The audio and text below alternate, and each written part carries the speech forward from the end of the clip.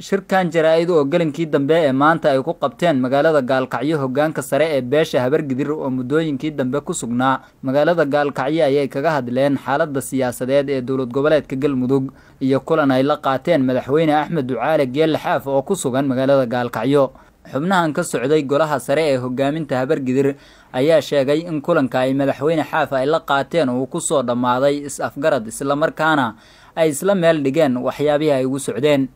golaha oo ka hadlay xaaladda siyaasadeed ee ka taagan magaalada dhuusamareeb ayaa sheegay in loo baahan yahay in si taxadar le looga qayb qaato dhismaha dowlad goboleedka galmudug iyagoona dhinaca kale ugu baaqay dowladda soomaaliya inay joojiso howlaha maamulo dhisidda ay ka wado magaalada dhuusamareeb rofeor cabdulqaadir maxamed shirwac guddoomiyaha golaha hogaaminta habargidir ayaa war-saxaafadeed ay soo saareen u aqriyay warbaahinta isagoo intaasi kadib la dardaarmay dhinacyada siyaasadda galmudug ku lugta le warmurtiyad golaha hogaaminta habargidir bismillaahi raxmaani raxiim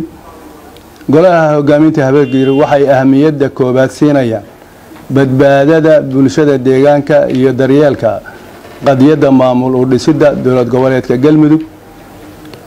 waxaana noo muuqata xilligan in doorashada ka socota dhuusamareeb caasimadda dowlad goboleedka galmudug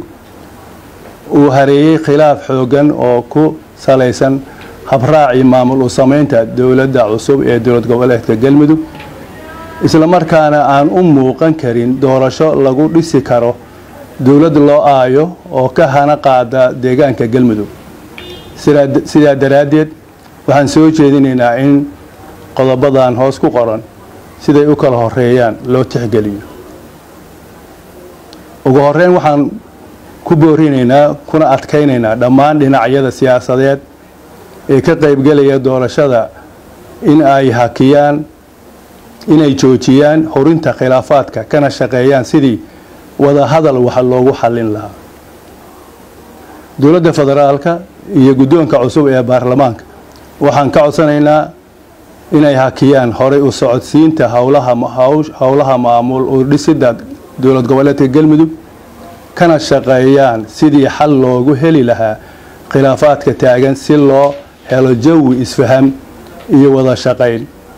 Dhammaan dhinacyada siyaasadeed ee raalli la iskaga yahay. Waxaan ugu baaqaynaa beesha caalamka iyo deeqbixiyaasha inaysan indhaha ka qabsan islamarkaana ay ka qayb qaataan dadaalada loogu hortegayo khilaafaadka hareeyey habudhiskay ama dowlad goboleedka cusub sidii loo yegleeli lahaa ay ka qayb qaataan si deegaanka loogu helo maamul midaysan iyo xasilooni siyaasadeed. Ugu dambayntii waxgaradka reer galmudug waxaan ugu baaqaynaa in masiirka iyo mustaqbalka galmudug la badbaadiyo lagana wada shaqeeyo sidii wada hadal iyo isfaham loogu dhammayn lahaa khilaafaadkan taagan. Wabilaahi towfiiq sida la wada ogsoon yahay maalmahan guddiga golaha habargidir ka socda waxay joogeen magaalada gaalkacyo waxayna u joogeen khilaafaadka laftigiisa ee hadda soo xooggiisa soo ifbaxay inay wax ka qabtaan oo xalinta ay qayb ka noqdaan. Meel fiican bay arrintu noo maraysay. Bulshada iyo madaxweynihii dowlad goboleedka galmudug mudane axmed geelle xaaf waan is waana isla garanay inay ku habboon tahay in wax walbaba isfaham iyo nabad lagu dhammeeyo.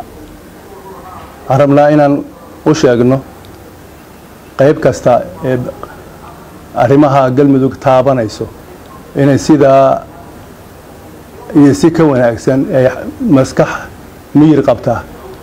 wax lagu xalliyo. Ee aan caradu ka kormarin caqliga.